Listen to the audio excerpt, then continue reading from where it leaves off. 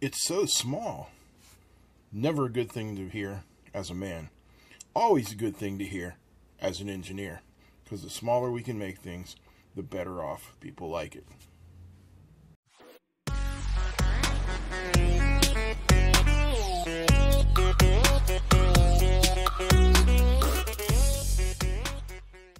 Hey, what's happening, guys? Today we are examining the world of small.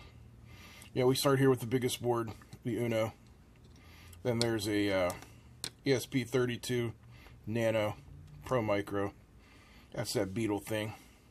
But we're going even smaller today. So these guys can all GTFO, and we're bringing in this guy. This is the Particle Photon and this is from Spark IO. This is a very interesting little Wi-Fi connected board. Let's uh, zoom in and take a look at this.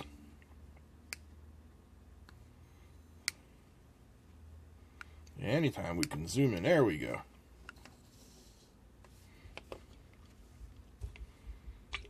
So it's small.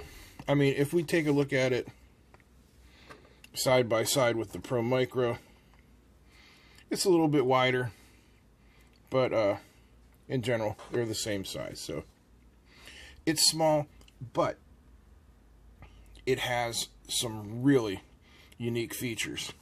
But first of all, let's just hit on an overview of it. It's an STM32 board, 120 megahertz ARM Cortex M3.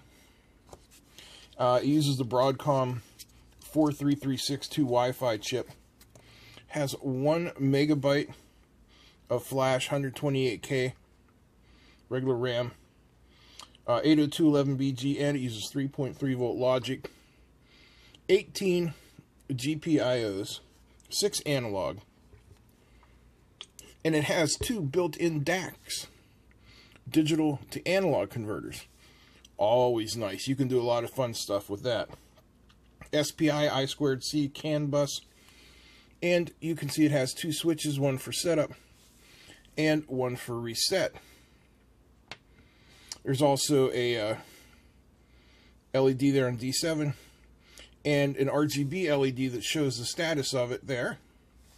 It has a built-in ceramic Wi-Fi antenna and a uh, port for a separate external antenna uses the micro USB and there is uh, nothing on the bottom. So very cool. But we haven't gotten to the coolest part yet. The coolest part is this board does not have to be plugged into your computer via uh, USB in order to be programmed. You can program it through a uh, smartphone app you can program it through a downloadable local IDE. You can program it through the web IDE. And once your programming is ready, you can update it OTA over the air via the Wi-Fi, never having to be plugged into the computer. So if you're a guy or a gal who designs applications that needed to be updated a lot, or say you're working in the field, I don't know, say you build uh, drag bikes, and you need to update some stuff at the track. Well, then something like this might be right up your alley where you can update your app or up, yeah, update your app from your smartphone, OTA it directly to the board. Pretty cool. Um, let's take a look at Particle's website and some of the unique features and requirements in setting it up. All right, we are on the docs.particle.io website, which tells you about getting started and how to connect your photon. They have a little video here that shows you, it makes it pretty easy, taking you all the way up to how to blink an LED and how fast you want to blink it. If you don't want to do it from your phone, which I personally didn't, you can do it from the computer. Um, there's all this installing command line interface and all that, but none of it's really all that necessary. They have a simple script you follow, and it's pretty easy.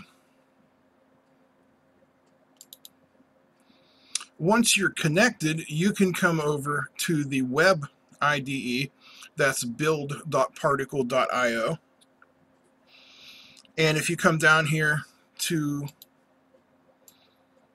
the little brackets here, that brings you to the code window.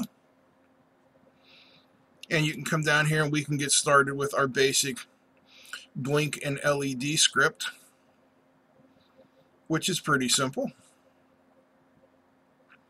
A lot of commenting here just telling you what's going on. And what's nice is if you look down here at the bottom of the screen, it gives you information about your board.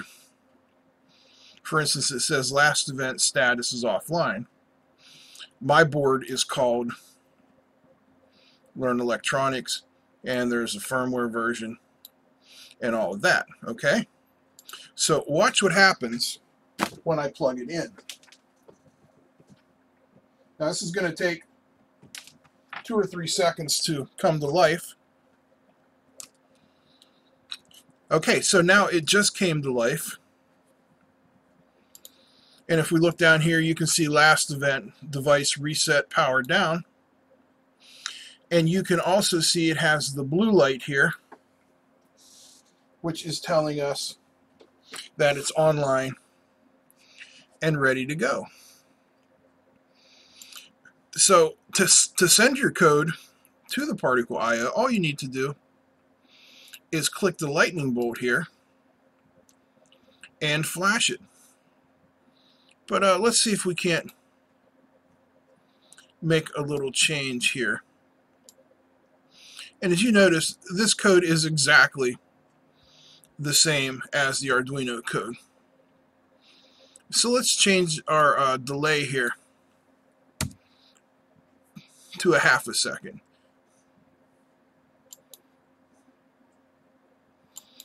Ah, fork it, eh? Okay, did that work?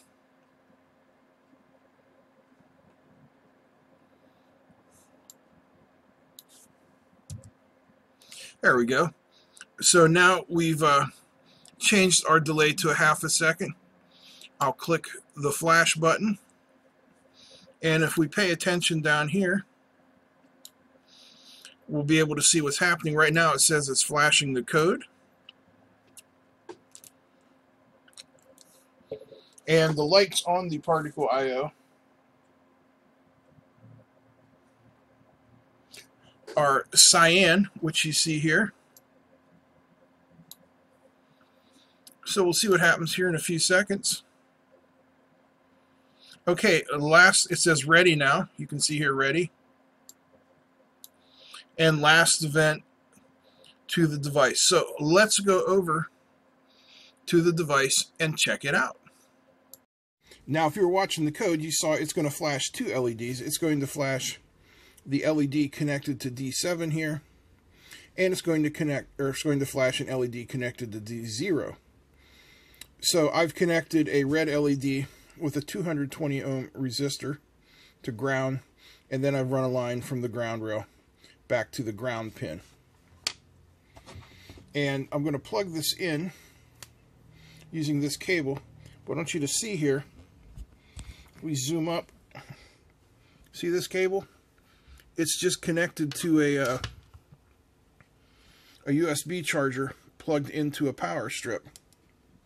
It is not connected to a computer. This thing has yet to be connected to a computer. And we plug her in.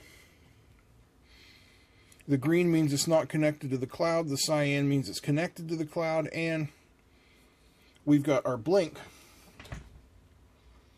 Now, just to show you that I am controlling this, I'm going to change the delay one more time, this time to 100 milliseconds. I'm flashing the code right now, and you can see the lights have changed, and it should be ready here in a second. There you go. We've changed the speed once again. So, totally amazing to be able to do this OTA. Now, I know you can do OTA with the ESP8266 and the ESP32, but this was designed from the ground up to do it. It has the firmware. I mean, it's just, it's built for this, and it's so convenient. Let's try something else. Okay, let's go back to our code window. And this time, let's uh, let's do a web-connected LED. And you can see most of the code up through here is all the same. But we are creating something new here, the particle function.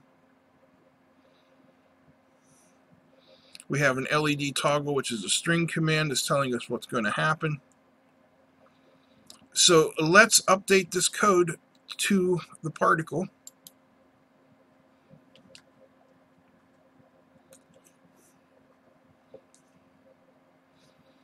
And I think we're updated. Yep, device flash successful. Your device is being updated. And it should be ready to go. All we need to do now is find out the address of the device. Okay guys, we're ready and keep your eye on the LED. And it's on, off, on, off. It's amazing. This is a really cool little device. Now this is just a first look into it. So I haven't explored or learned all of the possibilities. This device, um, I'll post a link to it down below. I got it off of Amazon. It costs $19. Yeah, it's more pricey than an ESP32 or an ESP8266. But I think it has a lot more possibilities. So I hope you guys enjoyed this. If you did, give me a thumbs up. Feel free to comment, share. Don't forget to subscribe. Thanks to all my patrons. That's it. I'm out. Peace. Música